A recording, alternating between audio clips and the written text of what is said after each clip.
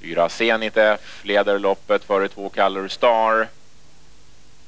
Vi har sedan sex Buster Clip. Där bakom fem Canigia, längre ner sju Serena, där bakom avslutar ett Scandal Play. Dryga 1300 meter kvar till mål. I täten nummer fyra Zenit F. Följd av nummer två Color Star. Sex Buster Clip. 5 Canigia, där bakom 7 Serena och 1 Scandal Play. Kommer här upp mot eh, 1000 meters passering.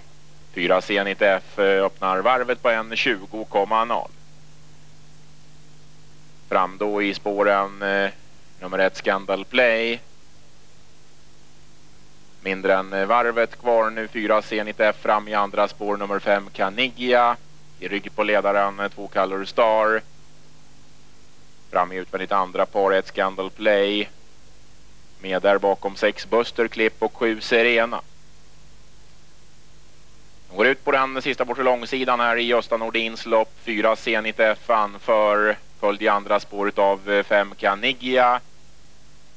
Sedan har vi i andra spåret Scandal Play. I rygg på ledaren två Color Star. Sen har vi sex Buster Clip och sju Serena.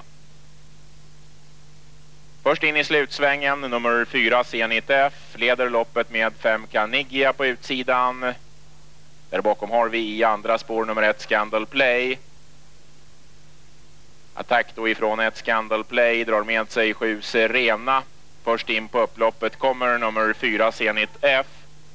4 C-90F har täten, mitt i banan kommer 1, Scandal Play. Längre ut har vi nummer 7 Serena.